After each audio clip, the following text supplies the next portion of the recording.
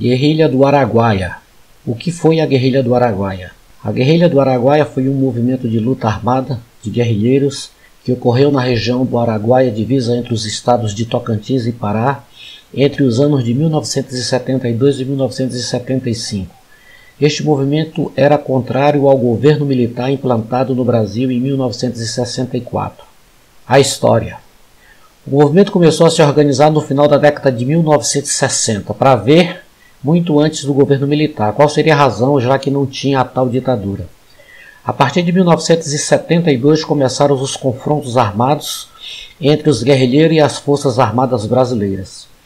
A guerrilha do Araguaia tinha como inspiração os bem sucedidos movimentos revolucionários socialistas que ocorreram em Cuba e na China, que hoje sabemos foram retumbantes fracassos. A China sobreviveu porque enveredou por um capitalismo branco, mas a Cuba virou uma favela. No total ocorreram três ofensivas militares para acabar com a guerrilha. A primeira foi a Operação Papagaio, a segunda a Operação Sucuri e a terceira e última operação Marajoara. De, de acordo com estimativas, cerca de 5 mil militares atuaram nessas operações. Guerrilheiros que participaram. O movimento foi liderado principalmente por militantes do Partido Comunista do Brasil, PCdoB. Veja aonde queriam enterrar o Brasil. Porém, contou com a participação de estudantes universitários, jovens estudantes, operários, profissionais liberais e camponeses. Entre os principais líderes da guerrilha do Araguaia podemos citar Maurício Grabós, um dos fundadores do PCdoB, João Amazonas, secretário-geral do PCdoB. Esse sobreviveu, acho que morreu velhinho já, perturbando a história.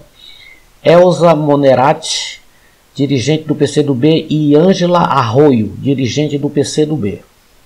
Qual era o objetivo dos guerrilheiros?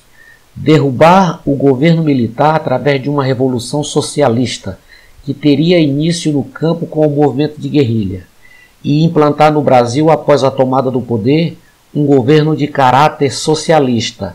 Eles estavam cegos pelo o, o animal que liderou a guerrilha de Cuba, como terminou? As tropas militares brasileiras saíram vitoriosas, pois conseguiram reprimir o movimento guerrilheiro em 1975. Como resultado, 59 militantes do PCdoB morreram, além de 19 agricultores que lutaram ao lado da guerrilha.